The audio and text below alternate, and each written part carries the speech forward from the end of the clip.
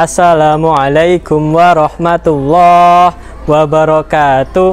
Bagaimana kabarnya anak-anakku kelas 3? Semoga kalian dalam keadaan sehat walafiat. Nah, pada pembelajaran kali ini kita akan belajar mata pelajaran matematika.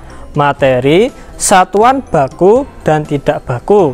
Ditambah kita akan praktek mengukur benda dengan penggaris centimeter Baiklah anak-anak, sebelum kita memulai pembelajaran kali ini, marilah kita berdoa terlebih dahulu. Angkat tangannya sikap berdoa. Bismillahirrahmanirrahim Rabbi zidni ilma warzuqni fahma Amin Anak-anak, apakah kalian pernah mengukur panjang benda? Ketika kita mengukur panjang benda, kita memerlukan satuan untuk menyebutkan panjang benda tersebut. Nah, di sini kita akan belajar dua satuan, yaitu satuan baku dan satuan tidak baku. Satuan baku adalah satuan yang jika digunakan untuk mengukur, maka hasilnya akan sama walaupun yang mengukur itu orang yang berbeda Sedangkan satuan tidak baku adalah satuan yang akan menunjukkan hasil yang berbeda jika yang mengukur itu orang lain. Contoh dari satuan baku panjang yaitu dari atas km, lalu hm, lalu dam, lalu meter, lalu dm, cm, lalu milimeter. Nah, contoh satuan tidak baku ada jengkal, ada hasta, ada kaki, dan ada depa. Baiklah anak-anak, agar kalian lebih memahami dalam membedakan satuan baku dan tidak baku, langsung saja kita praktek mengukur panjang benda dengan satuan baku dan tidak baku. Baiklah anak-anak, kali ini Pak Tara sudah ditemani Mbak Siva dari kelas 5 yang akan membantu Pak Tara dalam memahamkan kalian tentang satuan baku dan tidak baku. Marilah kita praktek mengukur panjang benda dengan satuan tidak baku terlebih dahulu. Pak Tara dan Mbak Siva akan mengukur panjang dari buku ini menggunakan satuan tidak baku yaitu jengkal tangan.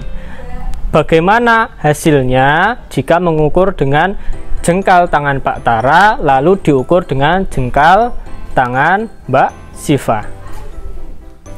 Baiklah anak-anak, kita akan mulai mengukur benda yaitu panjang buku ini menggunakan satuan tidak baku yaitu jengkal tangan. Di sini kita akan menggunakan jengkal tangan Pak Tara terlebih dahulu. Coba diperhatikan.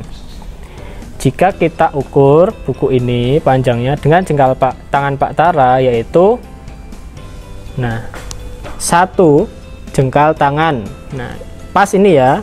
Pas. Sekarang coba kita ukur menggunakan jengkal tangan Mbak Siva.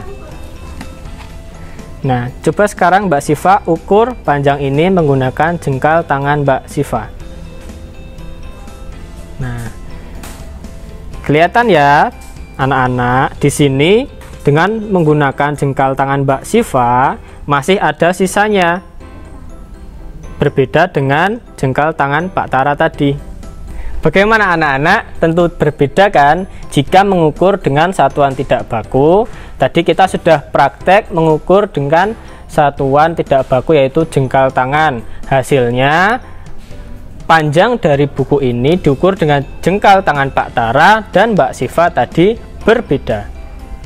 Nah, sekarang anak-anak kita akan mengukur dengan alat ukur atau satuan yang baku. Di sini Pak Tara sudah memiliki penggaris dengan panjang 30 cm.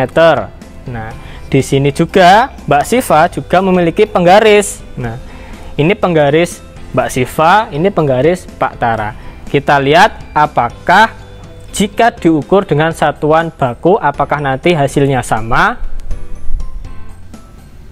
Baiklah anak-anak, kita akan mulai menghitung panjang dari buku ini menggunakan satuan baku yaitu cm kita menggunakan alat ukur yaitu penggaris Yang pertama dalam mengukur adalah kita perhatikan ujung dari benda yang akan kita ukur. Di sini kita mengukur buku, lihat ujungnya yang di sini. Lalu kita tempatkan garis angka 0, garis angka 0 pada ujung tersebut. Jangan ujung dari penggaris. Kalau ujung penggaris seperti ini, nah ini salah ini.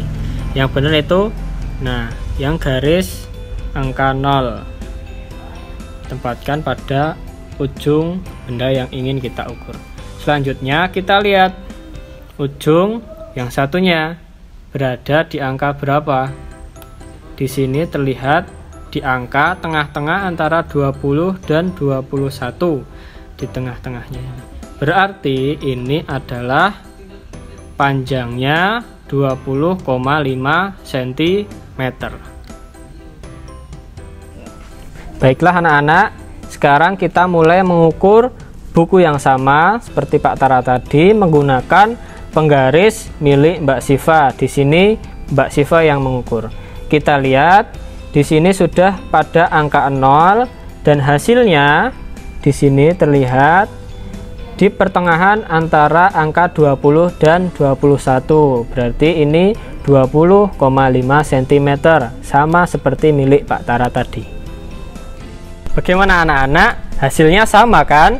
Karena tadi kita sudah menggunakan satuan baku yaitu cm pada penggaris ini. Dan jika kalian menggunakan penggaris kalian sendiri atau penggaris orang lain yang satuannya sama cm, maka jika mengukur benda yang sama nanti hasilnya juga akan sama. Baiklah anak-anak, sekian pembelajaran hari ini. Semoga bermanfaat. Marilah kita tutup pembelajaran hari ini dengan mengucap hamdalah bersama. Alhamdulillahirobbilalamin. Pak Tara tutup. Wassalamualaikum warahmatullahi wabarakatuh.